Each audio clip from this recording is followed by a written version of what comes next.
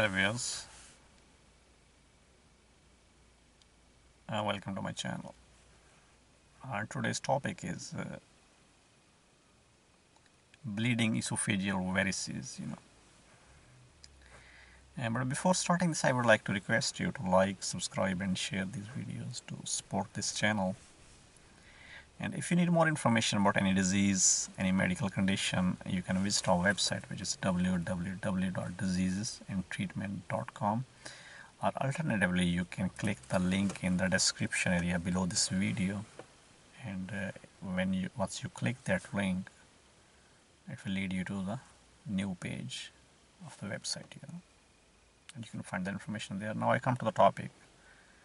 Uh, what are the bleeding esophageal varices? You know you know, bleeding esophageal varices occur when the swollen veins or varices in your lower esophagus rupture and bleed, you know.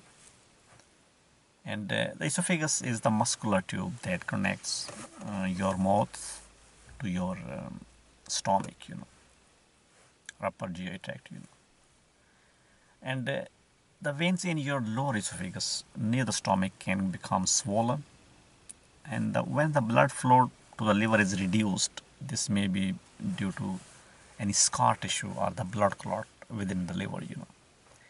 And when the liver uh, blood flow is obstructed you know uh, the blood builds up in other blood vessels nearby you know and including those in your lower esophagus you know.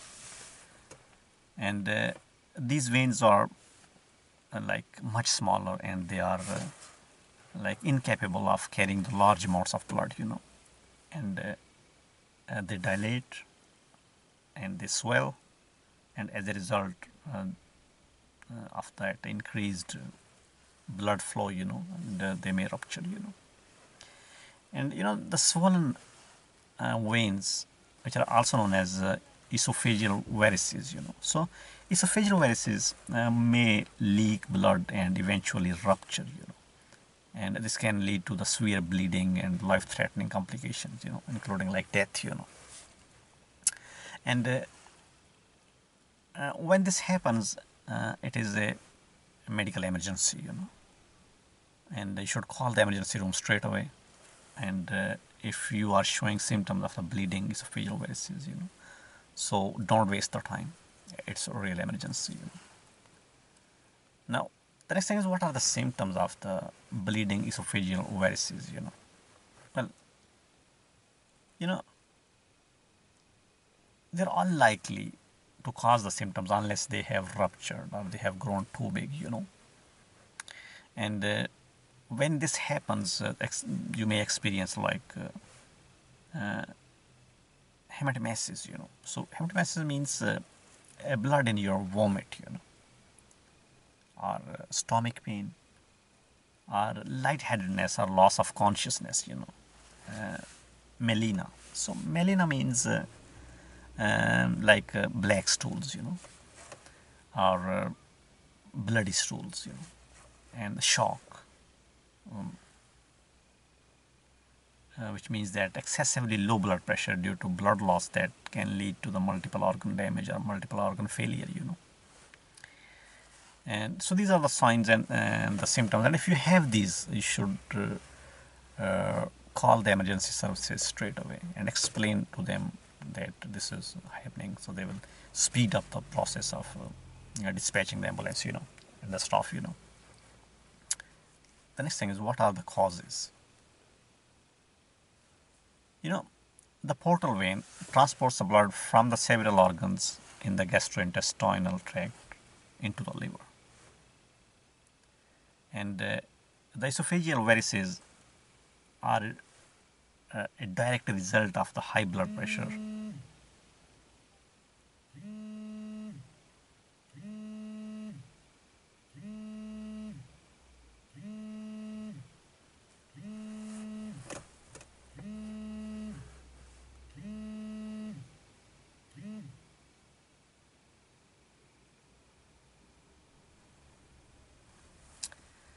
So the esophageal varices uh, uh, are, uh, I was telling that, uh, are a direct result of the high blood pressure in the portal vein, you know, and this condition is called portal hypertension.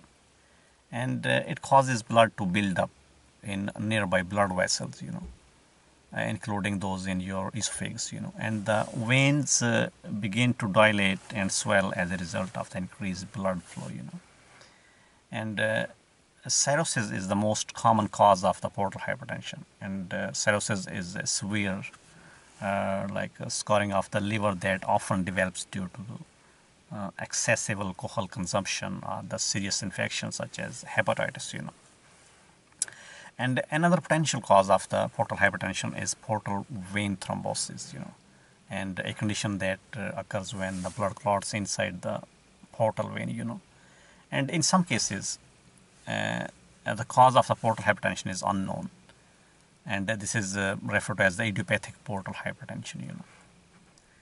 Now the next thing is uh, uh, risk factors. Well the esophageal varices are more likely to bleed if you have the large esophageal varices you know. And uh, red marks on the esophageal varices as seen on the light uh, like uh, lighted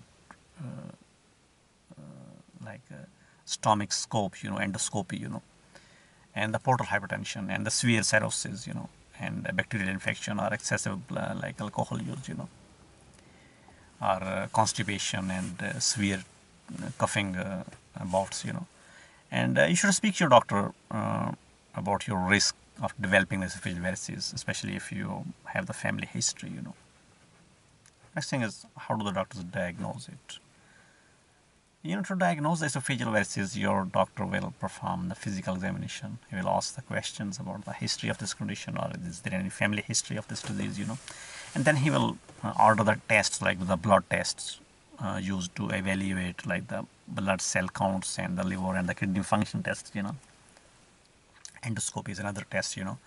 So during this procedure, a small lighted uh, camera scope is inserted into the mouth and used to look down the esophagus, you know into the stomach and uh, into the uh, into the beginning of the small intestine, you know, and it's used to look more closely at dilated veins and organs, you know, and it can also be used to take tissue samples and treat the bleeding, you know.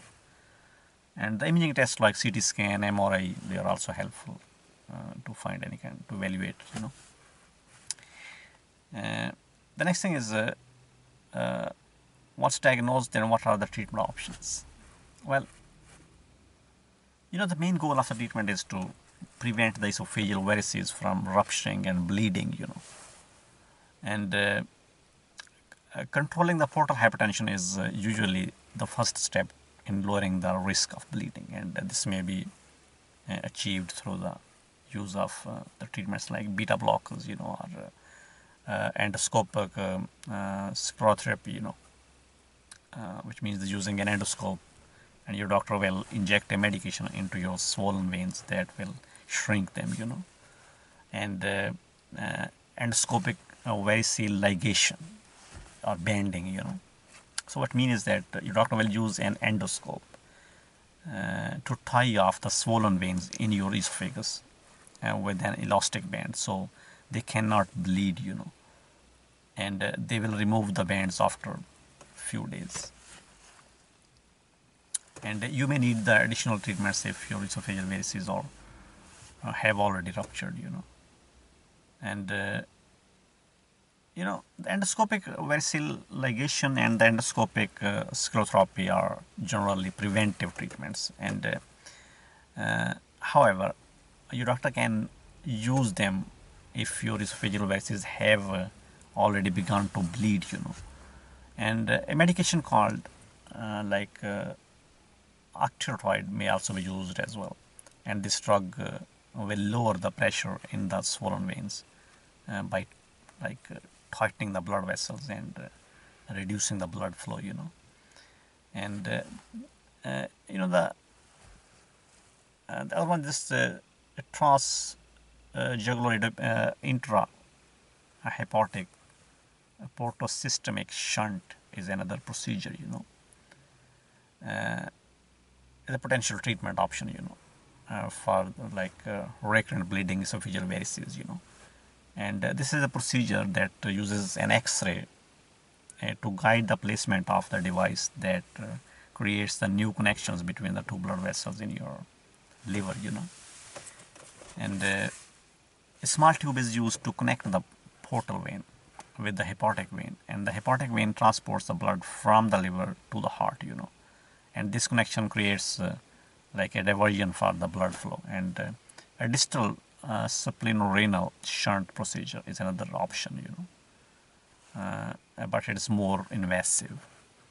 And uh, uh, this is a surgical procedure and it connects the main vein uh, from the spleen to the vein of the left kidney you know so this controls the bleeding from esophageal varices you know in 90% of the people you know. Uh, and in rare cases the liver transplant may be necessary you know. And uh, the bleeding will continue to occur if uh, the condition is not treated promptly you know. And uh, after you receive the treatment for the bleeding esophageal varices you uh, must attend the regular follow-up appointments to make sure that treatment is successful you know